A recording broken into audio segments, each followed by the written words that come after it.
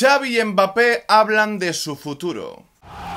El Camp Nou celebrando. Te marchaste tú del chiringuito. Hay una verdad. ¿Qué pasa, majos? ¿Cómo estáis? Bueno, lo primero de todo, que quiero deciros que nunca, nunca lo digo, que estoy muy contento de que seamos ya casi 85.000 personas, ¿vale? Nunca lo digo y creo que también es de valorar. Siempre estoy tan pendiente de los haters, de la gente, pues al final tóxica, ¿no? Y no valoro a todos los que estáis ahí viendo los vídeos, de verdad, lo valoro muchísimo. Otra cosa es que no lo diga pero que muchas gracias por estar ahí siempre. Ahora va a ser un poco complicado, ¿no? El hecho de hacer vídeos. Hasta ahora estaba la Liga, la Champions, queda la final, por supuesto, de la Copa del Rey, ese Barça-Valencia, pero... ¿De qué vamos a hablar ya? Que sí, que sí, que cosas siempre hay. Porque los veranos suelen ser bastante calientes en el tema futbolístico y Mbappé ha abierto la veda, ha abierto oficialmente el mercado de verano dejándose querer Mbappé siembra dudas sobre su futuro y el madridismo se ilusiona. Evidentemente el madridismo no es el único que seguramente querría ver a Mbappé con su, con su camiseta, con su zamarra. Hay muchos otros equipos que pueden hacer perfectamente el gasto de fichar a Kylian.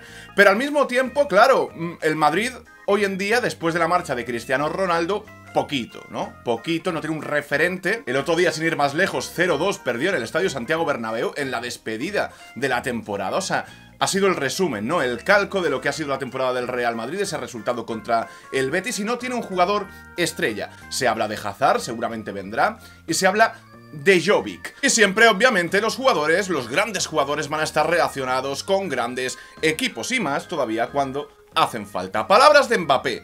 Quizás sea el momento de tener más responsabilidades en el Paris Saint-Germain con gran placer o en otro lugar con un nuevo proyecto. Yo sinceramente no le daría más importancia a estas declaraciones, yo creo que se va a quedar en el Paris Saint Germain, más aún habiendo superado a Neymar, tanto que se hablaba de Neymar, eh, puede ser el gran salto futbolístico para un equipo que hasta ahora mucho ha pagado pero poquito ha ganado.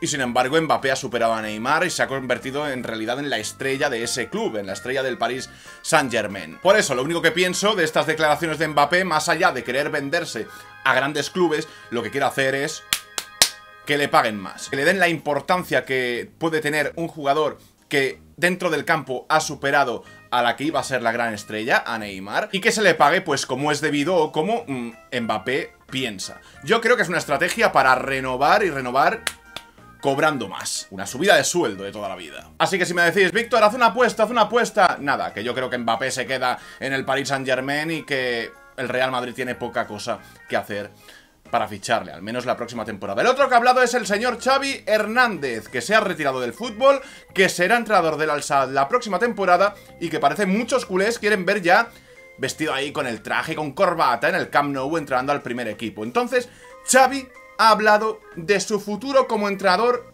ya en el Barça. El gran objetivo del catalán es volver a Europa y principalmente al Barça. Que diréis, ostras, Xavi quiere volver tal y tal, sí, pero luego ha matizado esas palabras. Primero, dice que su ilusión es ser entrenador, transmitir un poco sus experiencias, muchos conceptos que aprendió del fútbol, que tiene en la cabeza y que le gustaría, pues al final, crear un equipo con su método, con su estilo y su manera de entender este deporte. Vamos, que el equipo que entrene Xavi tendrá su sello.